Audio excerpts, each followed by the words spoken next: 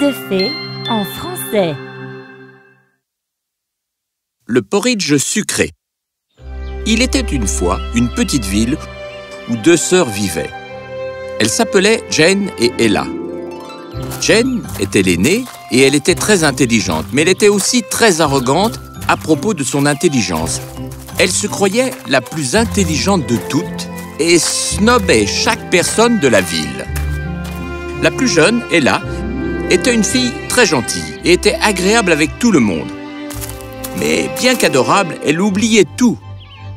Les deux sœurs ne prirent jamais la peine de corriger leurs défauts et à cause de cela, elles étaient toujours différentes. Jane et Ella étaient pauvres. Elles avaient faim presque tous les soirs et avaient beaucoup de chance quand elles avaient même un peu de pain et de fromage à manger. Un jour, Ella était assise à table en regardant le ciel. Quand tout à coup, son ventre commença à grogner très fort. Oh, je me sens tellement affamée. Je n'ai pas mangé correctement depuis des jours. Et même maintenant, il n'y a rien à manger. Peut-être que si j'allais me promener, j'oublierais à quel point j'ai faim. Alors, Ella alla se promener dans les bois. Elle n'emporta simplement qu'une bouteille d'eau. Elle continua à marcher encore et encore et bientôt dut s'arrêter et se reposer car elle était très fatiguée. Oh, je suis si fatiguée et si assoiffée. Je devrais boire de l'eau. Mais alors qu'elle buvait, une vieille femme apparut devant elle. Elle était vêtue d'une robe sombre et avait l'air si épouvantable qu'Ella était sur le point de s'enfuir. Mon enfant, voulez-vous, s'il vous plaît, me donner de l'eau? J'ai très soif et n'ai pas bu depuis deux jours entiers. La vieille femme toussait si fort que même si elle avait l'air très épouvantable, elle se sentait désolée pour elle et son cœur tendre s'attendrit. Bien sûr Voilà, buvez autant que vous le voulez. J'espère que ce sera suffisant pour vous. Oh, comme vous êtes adorable. Merci beaucoup, ma chère. Laissez-moi vous remercier pour votre gentillesse. Et dans un éclat de lumière, la vieille femme se transforma en une belle jeune sorcière. Ella était très étonnée de ce qu'elle voyait. Waouh Maintenant, dites-moi ce que vous souhaitez et je vous le donnerai. Peu importe ce que c'est. Alors, Ella lui raconta à quel point ils étaient pauvres et comment elle restait affamée pendant des jours. Hmm, je vois. Très bien. Quand vous rentrerez à la maison, vous trouverez un pot sur votre table. C'est un pot magique. Magique? Oui, un pot magique. Pour cela, vous devez chanter Cuit, petit pot, cuit Et il vous cuira autant de porridge sucré que vous le souhaitez. De cette façon, toi et ta sœur n'aurez plus jamais faim. Et quand vous aurez fini de manger et que vous serez repu, dites Arrêtez, petit pot, arrêtez Et il cessera de cuisiner. Comme c'est merveilleux Je rentre chez moi immédiatement. Attendez Avant de partir, je dois encore vous dire une dernière chose. Pour garder ce pot magique pour toujours, vous devez le mériter. Si vous ne faites rien pour le mériter, alors il disparaîtra de votre vie et vous aurez toutes les deux faim à nouveau. Rappelez-vous ces mots ou vous aurez beaucoup d'ennuis. J'ai compris. Oh, merci, sorcière. Je rentre tout de suite. Mangez bien, ma chère Ella. Attendez, comment connaissez-vous mon nom? Mais la sorcière avait disparu et était introuvable. Ella rentra bientôt à la maison et trouva le pot sur la table, comme l'avait dit la sorcière. Jane était debout à côté, le regardant avec un air intrigué. Ella, tu as ramené ce pot à la maison? Oui, je l'ai fait. Ne suis-je pas incroyable?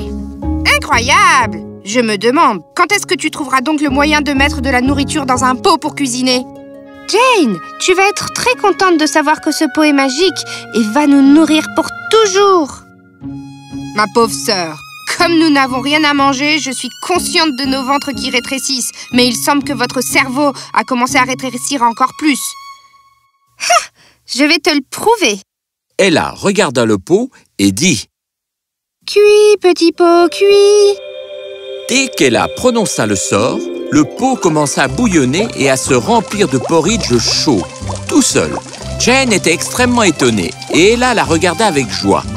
En un instant, la bouillie fut faite.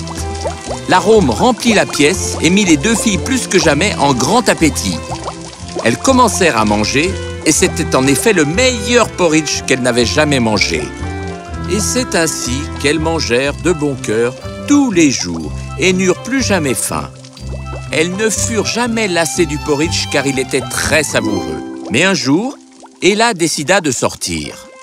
Je dois me rappeler de raconter à Jane la condition pour garder ce pot avant de sortir. Oh, mais qu'est-ce que c'était déjà? Qu'y a-t-il? Pourquoi tu me regardes comme ça? Eh bien, euh, il y avait quelque chose d'important que j'avais à te dire. Quelque chose d'important? Quelle chose importante pourrais-tu me dire? Tu es très désagréable. Très bien alors, je ne te dirai rien. Je parie que t'as oublié ce que tu devais me dire. Non, je n'ai pas oublié. Bon, je m'en vais. Dès qu'elle fut partie, la mémoire lui revint. Ah, je m'en souviens. Bien, ce n'est pas grave puisqu'elle a déjà mangé ce matin. Je suis sûre qu'elle n'aura plus faim. Mais au bout d'un moment, Jane commença à avoir faim. Hum, j'ai envie de manger cette délicieuse bouillie. Elle n'est pas là, donc euh, j'en aurai encore plus pour moi. Elle alla près du pot et de joie frappa dans ses mains, prononçant joyeusement le sort. Cuit, petit pot, cuit. Et dans la seconde suivante, la bouillie chaude que Jane aimait tant se mit à cuire. Elle respira les délicieuses effluves et une fois cuit, elle mangea tout d'un coup. Oh, c'était délicieux. Je suis repue maintenant. Oh, je ferais mieux de faire en sorte que le pot arrête de cuire. Euh, C'était quoi les mots déjà? Ah Arrête de cuire, petit pot. Mais ce n'étaient pas les mots justes. Ella n'avait jamais dit à Jane la manière magique d'arrêter la cuisson. Oh non Que, que dois-je faire Euh, Assez Plus de bouillie Arrêtez-vous, pot de bouillie stupide Peu importe ce qu'elle disait, le pot continuait à cuire, de plus en plus de bouillie chaude. La pauvre Jane n'arrêtait pas de crier, mais rien ne se passait. Au bout d'un certain temps, Ella rentra à la maison. Je suis sûre que rien n'a pu se passer. Et même, que pourrait-il se passer suite à l'oubli d'un petit sort stupide Hmm? Hmm? Mais que sort-il de dessous la porte? Je sens l'odeur aussi de la bouillie. Ella alla regarder par la fenêtre. Quel spectacle elle vit Toute la maison était remplie de cette bouillie douce et collante, à tel point que les chaises et les meubles flottaient dedans. Oh, quel désastre. Mais où est Jane? C'est alors qu'elle vit la pauvre Jane assise sur une table qui s'enfonçait lentement et régulièrement dans la bouillie fumante. Ah Oh Que, que dois-je faire? Pourquoi Ella ne rentre pas à la maison? Jane Jane, je suis là. Qu'est-ce qui s'est passé? Ella Oh, ma douceur S'il te plaît, prononce le sort magique et arrête cette horrible peau de faire encore plus de bouillie Arrêtez, petit pot, arrêtez Et enfin, le pot magique cessa de bouillonner. La bouillie s'arrêta de couler, Jane et Ella soupirèrent de soulagement. Dieu merci, voilà qui est fait. Mais la maison est toujours dans un tel désordre. Je suis désolée d'avoir oublié de te dire le sort. C'est de ma faute. Non, c'est de ma faute aussi. J'aurais dû te demander et t'écouter. Je suis désolée, j'étais trop arrogante et méchante avec toi. Mais que faisons-nous, Jane? Notre maison est pleine de bouillie et le nettoyage prendra des jours. Jane réfléchit un moment puis dit Il y a tant de pauvres dans cette ville. Pourquoi ne pas partager une partie de la bouillie avec eux aussi? Ah, oui Je parie qu'il y a beaucoup de gens qui meurent de faim. Ils aimeraient ce bon porridge chaud et sucré. Ella rassembla tous les pauvres et les gens affamés dans leur maison et dans la rue. Venez tous, allez Nous avons un délicieux porridge à vous offrir. Je suis sûre que vous allez tous l'aimer.